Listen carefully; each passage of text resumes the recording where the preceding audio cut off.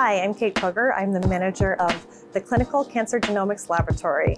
We are an important part of the diagnostic care team for patients with leukemia. We look for the genetic aberrations that are causing the patient's leukemia. Knowing the genes involved allows us to characterize the exact type of leukemia, their prognosis, and what treatment is most likely to be successful. We do this using a variety of techniques that look at the DNA or RNA of the patient's cells at a varying level of resolution. The oldest technique that we use is called traditional karyotyping, where we're looking at the entire genome in large blocks. We take a patient's sample of either marrow or blood and entice them to grow. Then we use chemicals to arrest the cells during replication in mitosis, where the DNA is most condensed in chromosomes. We make the microscope slides and then add more chemicals to reveal a characteristic banding pattern.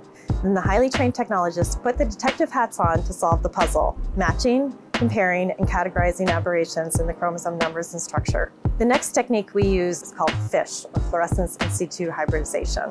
Now the FISH detectives look at much smaller chunks of DNA, covering one or two known oncogenes. These technologists work in low light because they need to see the fluorescent signals highlighting the locations and number of the target genes. We also have the techniques where we don't look at the genetics of individual cells, but rather we look at the full mixture of the DNA or RNA from a tumor, looking at the full genomics. So these technologists get an even closer look at the smaller segments of the genome. Using CGAT, or chromosome genomic array technology, we can screen the entire genome for aberrations that can contribute to the leukemia. And with NGS fusion assays, we can screen for translocations that would be hidden otherwise by karyotyping. We are always on the forefront of new technologies, such as OGM, or optical genomic mapping. These have great promise to tie together many of the strengths of each of the other technologies.